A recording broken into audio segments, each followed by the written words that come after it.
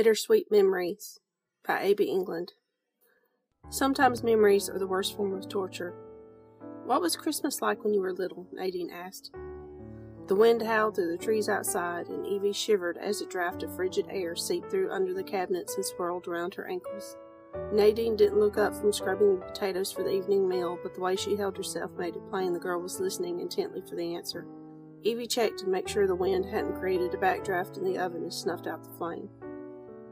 Overwhelming, Evie said.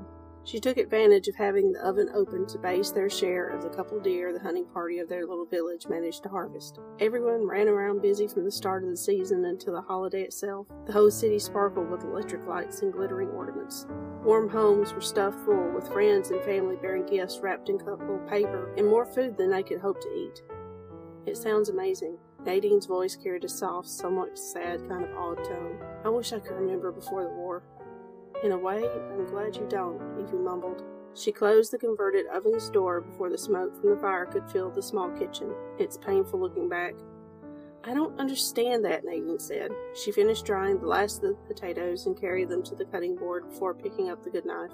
Yes, it's sad when something's lost, but doesn't remembering good times make you happy? She turned her big brown eyes up to her mother. That's what you told me when Aiden got sick, isn't it? Evie's hands hovered above the bowl she'd left the bread dough in to rise before they fell back down to her side. Guilt and pain squeezed at her heart and her eyes stung. Yeah, she choked out as she blinked away the tears gathering. Evie shook herself and floured the counter before turning out the dough to knead. I suppose I did. It's good you, Daddy, Nathan, and the others in town remember what life was like before everything happened. For a moment, only the swishy sound of bread being kneaded and the thump of a knife against the cutting board could be heard amongst the rustle of the wind outside and the popping of the fire in the oven. If no one remembered what we lost, how would we ever get it all back? Nadine asked as she kept slicing potatoes. It's been six years, Nadine. So?